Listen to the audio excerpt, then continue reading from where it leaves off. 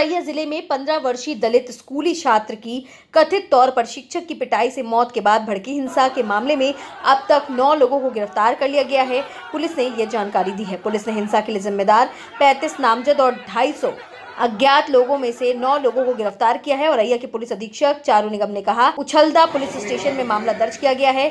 हमने सड़क पर छात्र के शव के साथ विरोध करने और सरकारी वाहनों को जलाने और नुकसान पहुँचाने के आरोप में नौ लोगों को गिरफ़्तार किया है। पूरे प्रकरण में नियमानुसार समीचीन धाराओं में अभियोग पंजीकृत किया गया है, क्योंकि शव को रख के शोरगुल करना, ये बिल्कुल भी नियमानुसार नहीं है और रास्ता रोकना बिल्कुल विधिक नहीं है।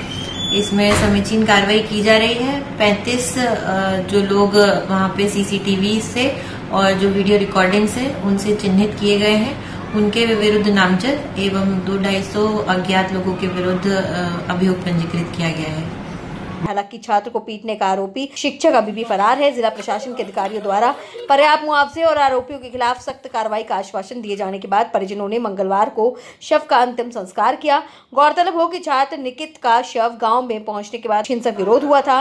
मृत लड़के के परिवार के नेतृत्व में स्थानीय निवासियों ने उसके शव को सड़क पर रखकर बड़े पैमाने पर विरोध प्रदर्शन किया था।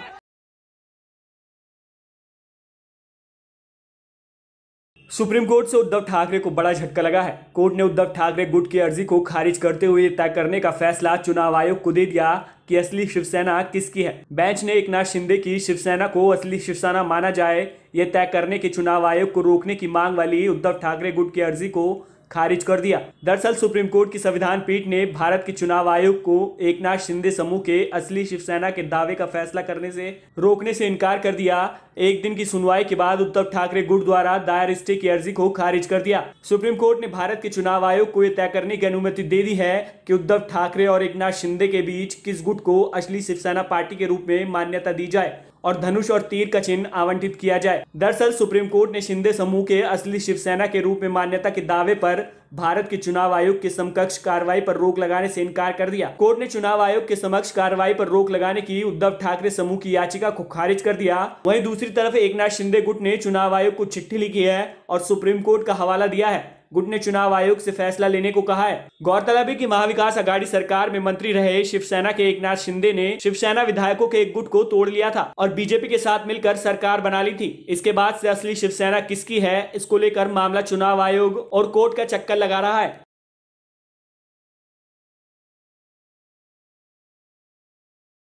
So we'll start. How was uh, Best of Friends conceived? What was the starting point? Um, you know, I think a novel probably has a number of starting points, and there's a moment where several things need to come together. Um, so I had, for a long time, I'd been interested in just the idea of childhood friendships, um, and the way they're quite different to to other friendships. I mean, you know, the friends. We, if I look at the friends I've made in my sort of post-university days, Yeah. they tend to be Yeah. people who are of roughly doing the same kind of thing I'm doing. They're writers, they're journalists, they're academics, um, broadly have the same kind of political views, you know, live similar lives kind of thing. If I look at my childhood friends, they're doing all kinds of things. You know, they might be working in uh, as a banker, they might be working as doctors or running a business. Um, their their views on the world will be quite different from mine, but we've always been friends. And so, even though we know that if we met today for the first time, we might not be very interested in each other. Uh, we might even dislike each other, but that friendship is is very strong. And I, I've known for a while that I wanted to write a novel that had friendship squarely at its center. Mhm.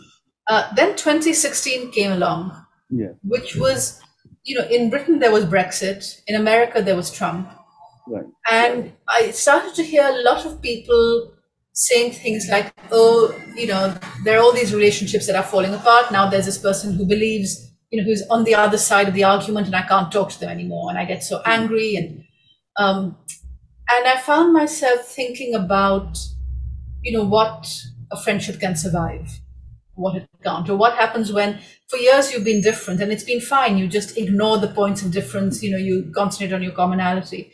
Uh, but what happens if that source of difference you can't ignore it anymore and it demands that the friendship contend with it. So it sort of started in that way, which I suppose was more sort of abstract in some way.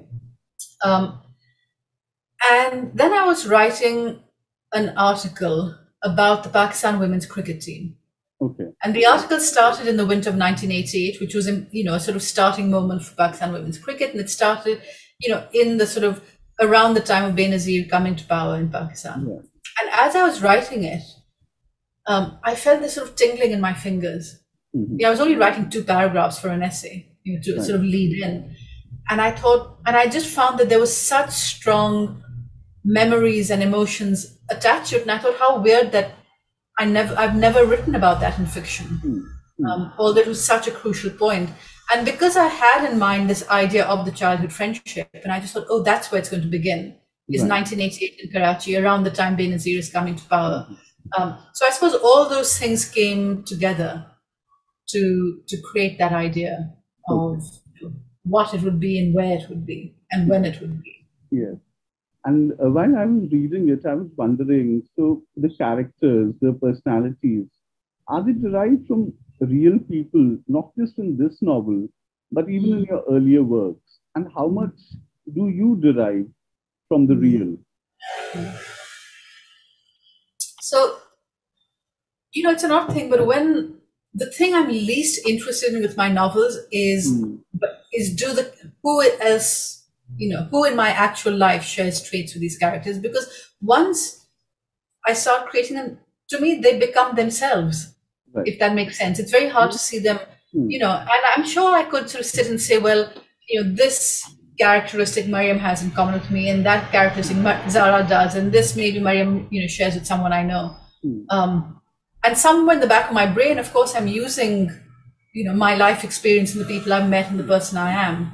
Um, but but they aren't specifically based on any one person each. They Hmm. probably have a lot of different characteristics, and and you know, the I know there are people for whom the joy of writing or or what they write for is to take the world as they see it or real characters they know and, and somewhat fictionalize them. Mhm. Uh, but for me, it's it's like I'm in some ways I'm still that child who just wants to make things up. Um, so the making up is always the fun. Yeah. Yeah. And uh, you've been wanting to write ever since you were 11, I think.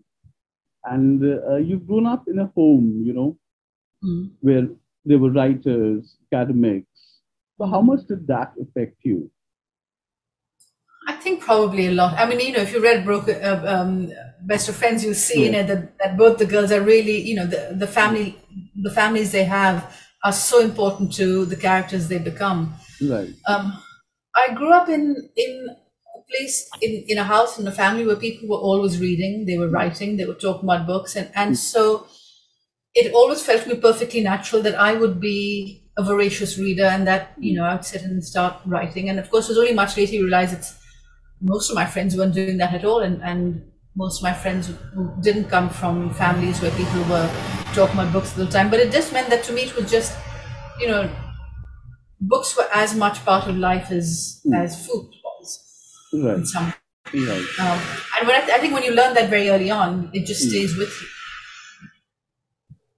You know, but of course the, sorry the other the other thing Yeah. i mean of course is now you know we're very lucky there are a lot of writers coming out of pakistan and i think if you're a young pakistani now it's you know writing is one of the things you might want to do with your life right. um, but when I was growing up, and particularly because for me, you know, my language, the language I was reading was English, Hmm. and there weren't a lot of English language writers around. There was Bapsi Sidhwa was sort of the one who, you know, we knew, but she almost seemed like the one exception. When there's only one, you think that's the exception. Um, and she was the only one I was aware of, though later I learned there were others. So the, the, just the fact that I had a mother who used to sit at a desk Hmm. and write sentences, Hmm. you know, I think that that made me think this is a way you can be and this is a thing you can do with your life, which I otherwise probably wouldn't have. Right. You know, I've always wondered in the past 20 years, you know, even Mm. my reading, uh, contemporary Pakistani writers writing in English have been doing Mm. exceptionally well across the world, and Mm. especially in India. You know, we're really waiting to kind of book the books on Amazon before.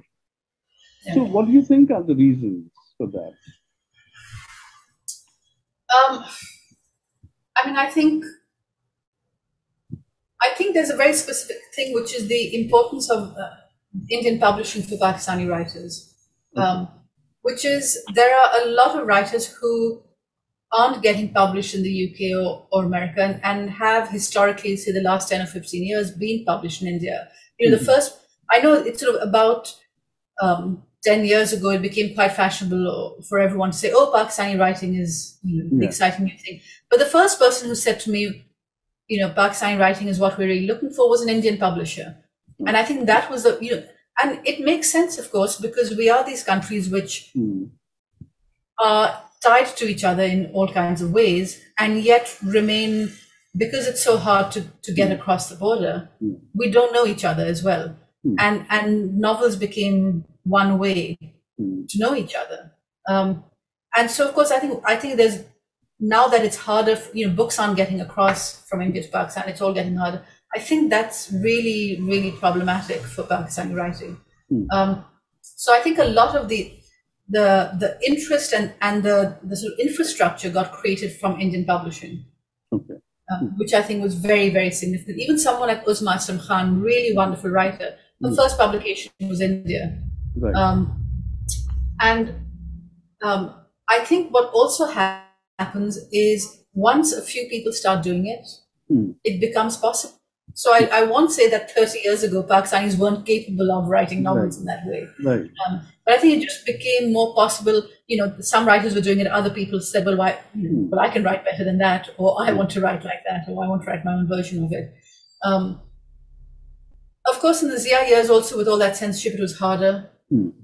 to to write. So there was that posting. But having said that, I mean, if you look in the last few years, I think you'll find that the the world beyond South Asia has. I mean, there was a moment post 9/11 where it was, oh, we want to know about this place because it's in the news. Yes. You know, so there was some of that going on. That has gone, um, which is why you know, you you know, there was sort of then this sort of lull for a while. Hmm. Uh, but now, I mean, this year you got two really exciting novelists, Taymour Soomro and Aamina Ahmad, um, who've got wonderful books coming out. So I hope it's a thing where, you know, once it gets going, Yeah. And also keep doing it. interestingly, uh, you know, not just those writing in English, somebody like Ali Akbar Natiq, you know, they are also getting translated and Yeah. the books are doing so well in India.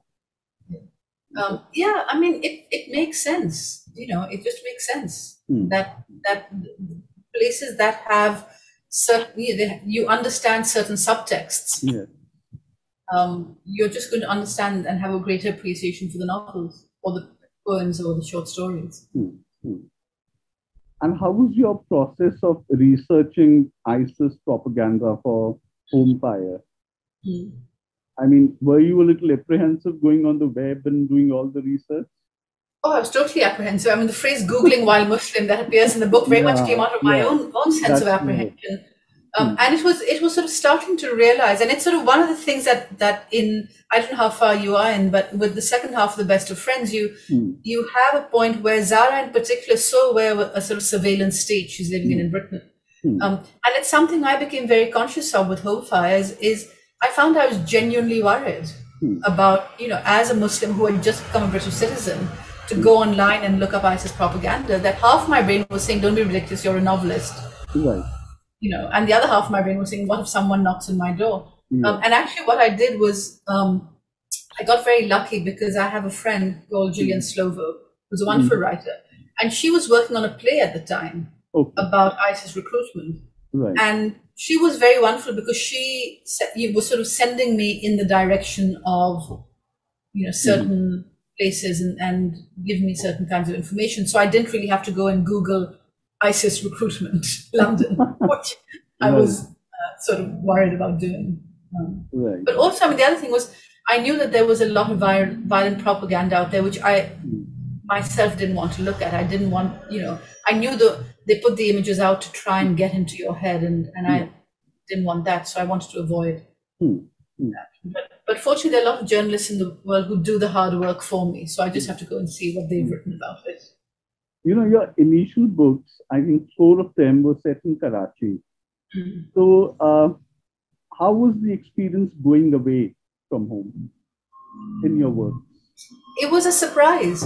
You know, Burnt Shadows, when I started to think of it, Yeah. was going to be a novel set in Karachi, but there was a character whose grandmother was Japanese and had lived through the bombing. Hmm. But it was really going to be sort of Karachi summer of 98 when Pakistan tested its nuclear bombs. I mean, that was where it started. Hmm. And then I found myself just thinking, but who is this grandmother who lived through the bombing of Nagasaki? And Hmm. and because as a writer, I don't really plan things, I just sort of follow my curiosity. My curiosity led me to her. Mhm. And and I discovered, found that then I was writing, you know, Hmm. this book that's starting in, in Nagasaki. And, and once it was like something in my brain shifted that I had I had always convinced myself that I could only write about Karachi. And as soon as I started, Yeah. you know, I, I realized no, actually there are different ways you can write from a position of intimacy and knowing, Yeah. but then you can write from a position of discovery. Hmm. Um, and it was terrifying Hmm. and it was also thrilling. And I think it's why the sort of you know the three books after were barely sort of Yeah. you know I mean they have bits of Karachi in them, but sort of went all over the place. Hmm. Um, and then this was a sort of this one is me thinking, well, let's let's go back and Hmm. spend a little more time in Karachi again. Right. Now, you've been based in England for quite a while. So, does Mm. the distance give Mm. you a better perspective when writing about Karachi, when writing about Pakistan or the subcontinent? You know, I, I don't really subscribe to that because I think if I were to write about, from this distance, if I were to write about Karachi to 2022, Right. I don't think I'm in a better position than, say, Mohammed Hanif, who's sitting in Karachi. He Yeah. clearly knows much more because he's im- immersed in it every day. Uh. I mean, and again, that's just what the writer I am. Someone like, you know, James Joyce wrote Ulysses while sitting in Paris. So Hmm. clearly it can be done.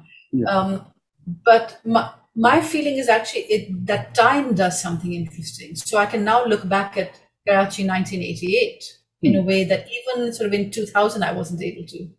Um, Yeah. you know, so I, I think that the dis- the interesting distance is one that comes with with time rather than with a sort of physical moving away. Okay. Okay. And, uh, you know, your mentor, Agha Shahid Ali, Mm. I'd in fact gone to his house in Kashmir to meet Hina, the Wow. sister. Yes. Yes. And uh, what are some of the things that uh, will never leave you about Agha Shahid Ali? Oh, many things. You know, I think about Shahid so much, um, all the time. Um, it's it's when he died. It's a friend of mine said it's like there's a little internalized version of him who sits inside you, and every now and then Yeah. will will sort of you know either tell you that you are because Shahid had these two modes. So either will tell you that you've written a terrible sentence, you just need to delete it Hmm. and Hmm. erase it from your memory, and then there's that other version of Shahid who's who's just making you laugh or Yeah. Reminding you to not take yourself so seriously. Hmm. Um, he was he was such and again because i met him when i was 18 i didn't realize how rare a combination he was of someone who was so serious Hmm. you know about the writing and wouldn't give an inch Hmm. um, but also knew you know that that it's sort of a cliche don't sweat the small stuff Yeah. um, but Shahid really knew how to just treat things in perspective. You know, don't get hung up on your ego. Don't get up hung up on small slights or Hmm. uh, the little things. And enjoy. I mean, his enjoyment of the good things in life. You know, to enjoy what you have. Um, You know, and also you know the things that you feel passionately, strongly about. And you're going to write about them. You you do that with absolute seriousness and Hmm. commitment. And don't cheat. While you write prose, but uh, uh, you know, you must have written poetry in your creative writing masters, and you must have learned it. So, did that also help you? And was Shahid Ali's influence as a poet on you, as a prose writer? So? I knew I knew Shahid both as an undergraduate and you know so Yeah. when I was an undergraduate I went to Hamilton he was teaching there and then my masters I went to UMass because Shahid was there largely um, and for my masters I didn't do any poetry but I did as an undergrad. I took a couple of poetry classes with him um, it made a huge difference. It sort of freed up my prose I think in some way. Um, and also it you know that idea of having really paying attention to every word. And the thing that I learned from Shahid, which I still do, was to read out loud because he always used to say that the ear will catch things that the eye doesn't. Um, and so I still, and it's as true for, for prose as it is for poetry. Right, right. And what is your process? I'd love to know that. My process is um, I start very slowly. You know, there comes a point when I haven't been writing for a while, and then I'm just and I know there's some some kind of inkling of an idea, and and then I think, well, I need to start thinking about it a little more. And then months go by, you know, in which something very slight forms. Hmm. Um, and then I sit down, I manage to get first page, and then I just stop and I'm stuck for a long time. So the beginnings really are slow because I have no idea where I'm going, what I'm doing. Mhm. Um, and it really is important at that point for me to be quite disciplined. So, you know, when I decide I'm really doing this, then five days a, week, Okay. you know, in the morning I sit at my desk. Okay. How long I stay at my desk is up for grabs. You know, it might just be some days you just think it's it's not happening. It's an hour, two hours. Some days it's much longer. Uh, the deeper I get into a novel, the more you know, the, sort of the more it flows. Right. So then, you know, the, for much of it, it's sort of I'm sitting at my desk for, you know, a four or five hour stretch. I might write from sort of I'm not a very early riser, but let's say at nine thirty to two thirty, I'll write, Mhm. and then I'll have a very late lunch, and then I'm done with writing for the day. Right. Um, and I do that five days a week as though you know Hmm. it were a of Okay. job of any other kind. And what do you do between novels? Um, between novels, I always plan to do huge amounts of reading, and somehow that never happens. One of the things that happens between novels is while I'm writing a novel, people ask me to do things, and I say, I'm writing a novel, ask me after. so, for instance, the last couple of months, I've done a couple of lectures, a couple of essays. I've got a short story I've been commissioned to write, done a couple of th- things for the BBC. So there are always a little bits of things. But also, I was in Istanbul last month with my sister for a few days. So, you know, you get to do a little bit of traveling. Short story is new. I mean, uh, you've never written short stories before, if I'm correct. No, no, I have written many short stories. It's just short stories are not very good. so you don't know about them. Um, I, I, I've always written short stories, but they tend to be on commission. So it'll be there'll be an anthology. Hold- It'll have a short story by me somewhere. Um, but you know, it's a, it's a, such a complicated form Hmm. that maybe one out of three I'll feel okay that really does work as a short story, and the rest I think well it's a novelist trying to write a short story. Yeah. Yeah. Subscribe now and press the bell icon. Never miss an update.